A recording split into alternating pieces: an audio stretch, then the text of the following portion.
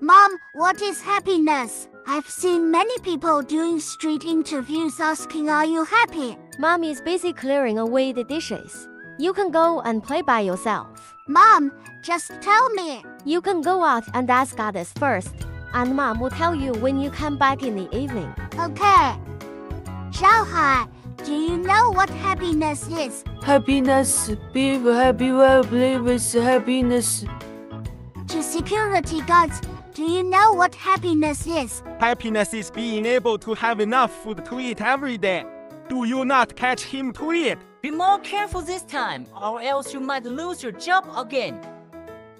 Ghost brother, do you know what happiness is? Happiness is scaring cats every day. Aren't you afraid of ghosts, kid? Ah, it's getting harder and harder to scare cats now, all because of that old man. Master, do you know what happiness is? Happiness, you know once you go home. Mom, I've been asking all day.